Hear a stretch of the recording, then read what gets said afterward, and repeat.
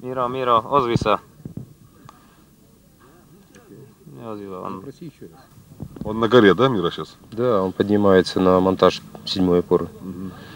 Так, сколько времени у вас осталось сегодня?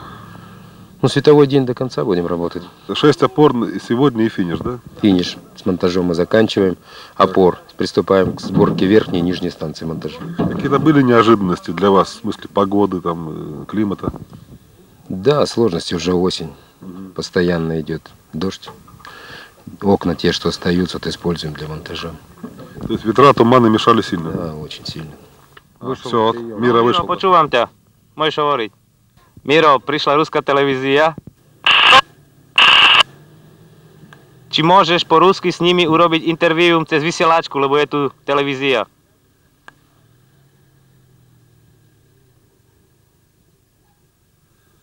Так, ну ладно, Милан, есть такая поговорка русская, если гора не идет к Магомету, то мы пойдем в гору сами.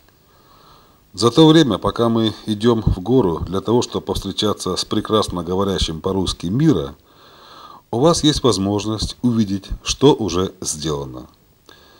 Вот об этих шести последних опорах для подъемника горнолыжного комплекса и шла речь в нашем разговоре.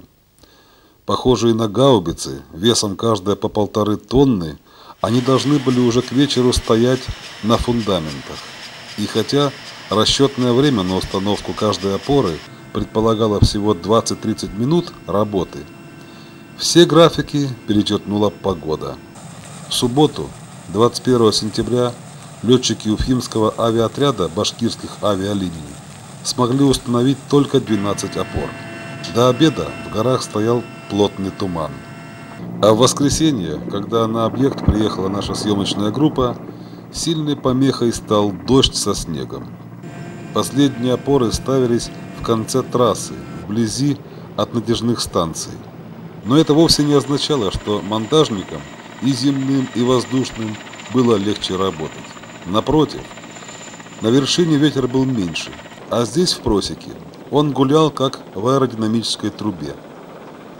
Считанные секунды предоставлены были монтажникам для того, чтобы успеть наживить опору на анкерные болты.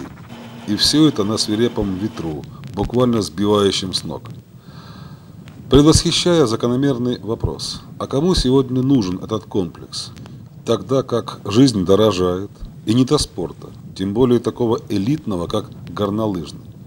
Отвечу сразу. Во-первых, вовсе он не элитный.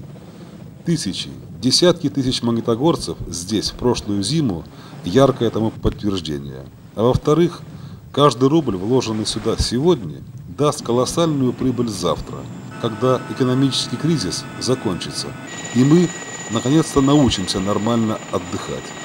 А этот комплекс должен стать по перепаду высот и сервису лучшим в нашем регионе.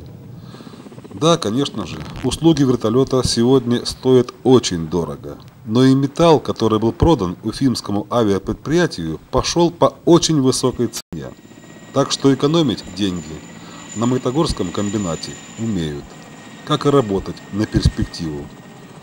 Впрочем, мы отвлеклись, и за время, затраченное на это финансово-лирическое отступление, была установлена последняя в этот день шестая опора. Она же была последней в числе 22, которые протянулись вдоль линии будущего подъемника. Поздравления под возгласы о нерушимой русско-словацкой дружбе закончились, и мы смогли более подробно поговорить с симпатичным молодым человеком по имени Мирослав. Мирослав, может быть, надо было пойти в музыку, а не в строителя, а? О, лучше бы было на музыке, чем здесь. Устал дирижировать, нет? О, чуть-чуть устал. Вся твоя жизнь прошла в горах, так? Рабочая, сознательная. О, я этой работой занимаюсь 10 лет, 10 год сейчас.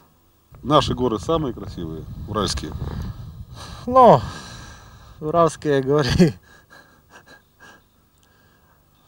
на, для катающихся на лыжах хорошие. Работа, работы еще много, но я думаю, что по контракту успеваем. До 15 октября будет сокрутить и все бугиры бу- буду в трассе. А что осталось сделать?